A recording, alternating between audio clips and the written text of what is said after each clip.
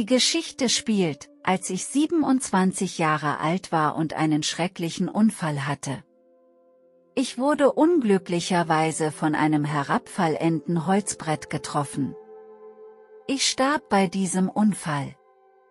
Das nächste, was ich wusste, war, dass ich in einer anderen Welt war. Dort traf ich auch einen Mann, der mich tröstete und mir Wärme schenkte. Ich sah auch den Himmel.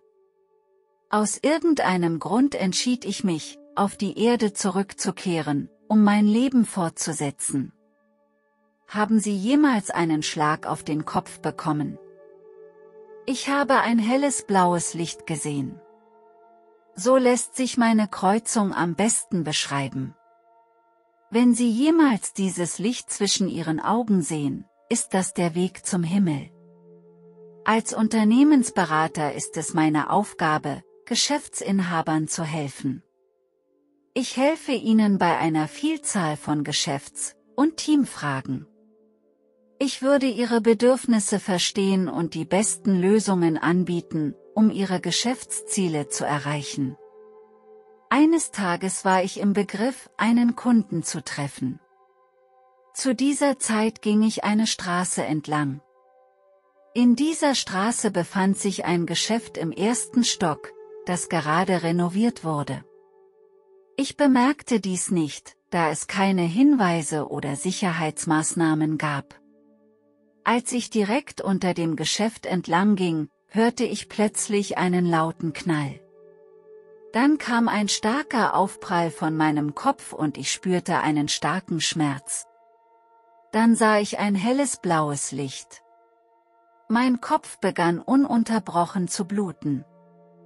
Ich war so verängstigt und in Panik, dass die Leute um mich herum anfingen, Notrufe zu tätigen. Mein Bewusstsein begann zu verschwimmen. Das helle blaue Licht blinkte immer noch in meinem Blickfeld, als wäre es eine übernatürliche Präsenz. Ich wusste nicht, woher das Licht kam, aber es strahlte eine intensive Wärme aus, die mich sehr warm fühlen ließ. Ich wusste nicht, was geschah und was ich zu erwarten hatte. Ich hatte das Gefühl, mich in einem Zustand der Einsamkeit zu befinden. Ich war mir nicht sicher, ob ich noch lebte oder ob ich in eine andere Welt hinübergegangen war. Mein Herzschlag wurde immer schwächer. Und ich hatte das Gefühl, dass mein Leben langsam schwand. Plötzlich hörte ich eine sanfte Stimme, die mir sagte, hör auf, dich zu wehren, du bist jetzt schwer verletzt. Ich werde dich an einen sicheren Ort bringen. Diese Stimme vermittelte mir ein unerklärliches Gefühl von Frieden und Trost. Meine Schmerzen ließen allmählich nach, so als würde ich von einer geheimnisvollen Kraft geheilt werden. Auch die Angst und Unruhe in mir wurde allmählich gelindert. Ich folgte dem Licht und begann, mich nach oben zu bewegen.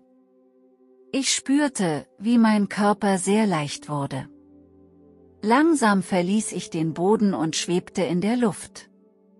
Meine Seele wurde leicht und frei, frei von jeglichem Schmerz oder Zwang. Die Erfahrung fühlte sich für mich erstaunlich an. Ich spürte, dass ich in eine Energie von unermesslicher Reinheit gehüllt war. In diesem Zustand schienen Zeit und Raum ihre Bedeutung zu verlieren. Ich schwebte in den Himmel über der Stadt. Alles auf den Straßen begann klein zu werden, wie Miniaturmodelle der Stadt. Fahrzeuge fuhren hin und her wie Insekten und Menschenmaßen waren wie Ameisen. Ich sah Menschen, die durch die Straßen eilten, weil sie damit beschäftigt waren, ihren Träumen nachzujagen. Jeder Mensch hat seine eigene Geschichte und sein eigenes Ziel. Ich sah Cafés auf den Straßen, in denen sich die Menschen versammelten. Bald war ich nicht mehr auf dem Planeten. Ich wurde in eine völlig neue Dimension transportiert. In dieser Dimension sah ich wunderschöne und geheimnisvolle Planeten und Galaxien. Unzählige Sterne leuchteten in einem geheimnisvollen Licht. Plötzlich tauchte ich in eine Helligkeit auf.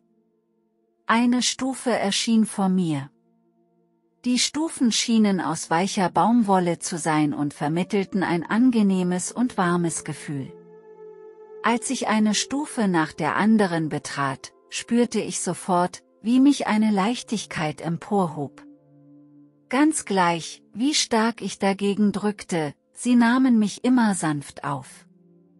Ich spürte keinerlei Druck. Es war, als wäre ich eins mit den Stufen geworden.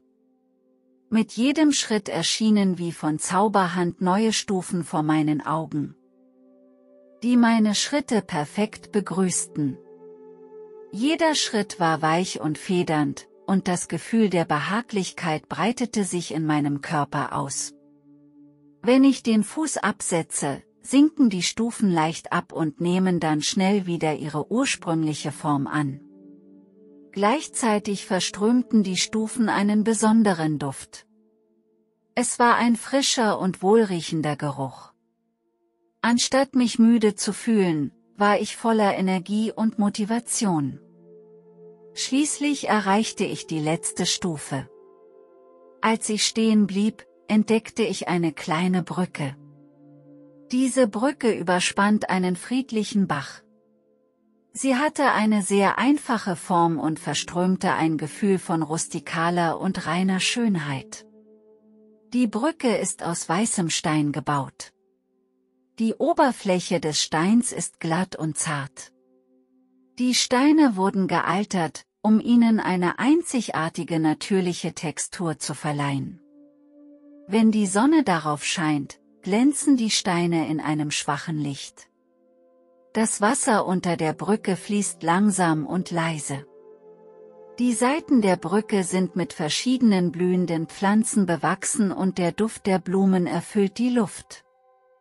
Die Blumen begannen sich sanft zu wiegen, als die Brise vorbeiflog. Auf der gegenüberliegenden Seite der Brücke sah ich meinen Vater und andere Verwandte. Ihre Augen waren von tiefer Liebe erfüllt. Ein weißes Licht umgab sie und verströmte einen blendenden und reinen Schein. Dieses weiße Licht war das hellste und reinste Weiß, das ich je gesehen hatte. Es fühlte sich an, als könnte dieses Licht alle Düsternis und Negativität durchdringen. Es war, als ob dieses Licht ein Symbol der Liebe war, das mich mit meinen Lieben verband. Hinter meinen Lieben erschien ein riesiges Gebäude, das ebenfalls aus weißem Stein gebaut war. Dieses Gebäude strahlte eine feierliche und heilige Atmosphäre aus. Es war so groß, dass es sich bis zum Ende des Himmels zu erstrecken schien. Die erste Person, die zu mir sprach, war mein Vater. Er sagte, Liebe Tochter, was machst du da oben? Ich antwortete. Papa, ich weiß es nicht. Irgendetwas hat mich am Kopf getroffen und dann bin ich an diesen Ort gekommen. In den Augen meines Vaters blitzte Besorgnis auf, und er berührte sanft meine Schulter. Er sagte mir nur, ich kann hier noch nicht bleiben. Ich glaube, Sie haben so viel Glück. Ich beneide Sie darum, dass Sie hier leben können. Ich sah ein helles Licht an der Spitze des Gebäudes und wollte näher herangehen, um es genauer zu sehen. Gerade als ich mich nähern wollte, versperrte mir mein Urgroßvater den Weg. Er schaute mich mit festen, liebevollen Augen an. Er sagte mir, dass es für mich nicht der richtige Zeitpunkt sei, mich der Lampe zu nähern. Aber ich gab nicht auf und versuchte erneut, näher heranzukommen. Diesmal stand mein Vater vor mir. Mit sanfter, aber fester Stimme sagte er mir, dass jetzt nicht der richtige Zeitpunkt sei und dass ich Geduld haben müsse. Ich war ein wenig wütend. An diesem Punkt sagte auch der Rest der Familie zu mir, du musst jetzt zurückgehen, du hast noch viel zu erledigen. Ich antwortete, ich will nicht zurück, ich will bei euch bleiben und ich weiß nicht, wie ich zurückkommen soll. Plötzlich erschien ein starkes, helles Licht über mir, es war wie ein Blitz in der Dunkelheit. Ich schaute auf, um die Quelle des Lichts zu finden, und ich traute meinen Augen nicht, ich sah tatsächlich Jesus. Ich war von seinem Licht umgeben und spürte ein starkes Gefühl der Liebe. Sein Licht gab mir Hoffnung und Trost. Ich fragte Jesus, muss ich zurückgehen? Habe ich eine Wahl? Jesus antwortete, natürlich hast du die. Du bist schwer verletzt. Wenn du hier bleiben willst, wird dir niemand einen Vorwurf machen. Ich begann, über meine Antwort nachzudenken. Hier empfand ich ein überwältigendes Gefühl von Frieden und Ruhe. Ich könnte für immer vom Schmerz befreit sein und ewige Freude haben. Als ich an meinen Sohn dachte, spürte ich auch ein tiefes Gefühl der Verbundenheit und Verantwortung. Dann fragte ich Jesus, was wird mit meiner Mutter dort unten geschehen? Und mein Sohn. Kann ich sie zusammen nach oben kommen lassen? Er hat mir nicht direkt geantwortet. Er legte mir sanft die Hand auf die Schulter und bedeutete mir, nach unten zu schauen. Seiner Führung folgend, erschien meine Familie in meinem Blickfeld. Ich sah mich selbst im Operationssaal liegen, meine Mutter stand auf dem Flur des Krankenhauses, ihre Augen verrieten Traurigkeit und Verlust. Auch der Rest der Familie war in Trauer versunken. Jesus flüsterte mir ins Ohr, dass sie um dich traurig seien. Diese Worte berührten mein Herz tief. Ich konnte die Liebe und Verbundenheit spüren, die sie für mich empfanden. Er zeigte mir auch ein Bild von der Zukunft. Ich sah meine Mutter noch dünner werden. Man sieht sie zu Hause sitzen, sie ist nicht mehr regelmäßig und ihr Körper wird immer schwächer. Ich spürte die Einsamkeit und Hilflosigkeit meiner Mutter auf dem Bild, ihren Verlust an Begeisterung und Lebensmotivation. Ihre Augen sind voller Melancholie und Verlust, und sie kümmert sich nicht mehr wie früher um ihre Gesundheit. Dann sah ich die Abschlussfeier meines Sohnes. Ich sah ihn auf der Bühne stehen, ohne seine Familie an seiner Seite. Seine Augen verrieten Traurigkeit und Verlust. Er sah außerordentlich einsam in der Menge aus, ohne jemanden, mit dem er diesen bedeutsamen Anlass teilen konnte. Er hatte ein hervorragendes Ergebnis erzielt, und das machte mich unglaublich stolz. Diese Szene machte mich noch entschlossener, zurückzugehen. Ich möchte für meinen Sohn in jedem wichtigen Moment seines Lebens da sein. Er brauchte meine Liebe und Fürsorge, und ich wollte nicht, dass er sich den Härten des Lebens wieder allein stellen musste. Plötzlich hörte ich die Gebete meiner Familie. Ihre Stimmen durchbrachen die Grenzen von Zeit und Raum. Mein Mann, der seine Hände gefaltet hatte, schloss die Augen und betete leise. Seine Gebete waren erfüllt von Liebe und der Hoffnung, dass ich aufwachen würde. Auch meine Mutter betete für mich. Sie schüttete ihre Sorgen um mich vor Gott aus. Meine Freunde stimmten in die Gebete ein. Ich konnte sehen, dass sich ihre Gebete zu einer kraftvollen Energie verdichteten, die allmählich zusammenkam. Diese Energie begann sanft zu schimmern und bildete eine durchsichtige Kugel. Ich blickte in diese Energiekugel und spürte die Gedanken und den Segen meiner Familie und Freunde, als wären sie direkt bei mir. Ich beschloss, auf die Erde und zu meiner Familie und meinen Freunden zurückzukehren. Ich stand auf der Treppe, Jesus und meiner Familie gegenüber, und teilte meine Entscheidung mit. Jesus nickte mit dem Kopf und stimmte meiner Entscheidung zu. Dann dachte ich, werde ich zurückkehren und körperliche Schmerzen erleiden? Jesus schien zu wissen, was ich dachte. Er sagte, mach dir darüber keine Sorgen, ich werde dir einen gesunden Körper geben. Seine Stimme war so tröstlich, dass ich mich überwältigend wohlfühlte. Ich begann, mich langsam nach unten zu bewegen, und die Stufen schienen sich in eine sanfte Rolltreppe zu verwandeln. Ich überquerte das Dach und betrat dann den Operationssaal.